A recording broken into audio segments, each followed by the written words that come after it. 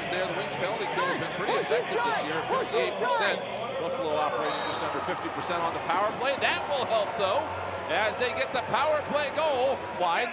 Loose ball is picked up by Buffalo. And Nanticoke in front, he scores!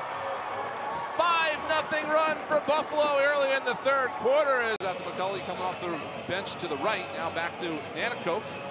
And Nanticoke rolls off a man, goes to the net, and scores. What an effort by Tehoka Nanticoke.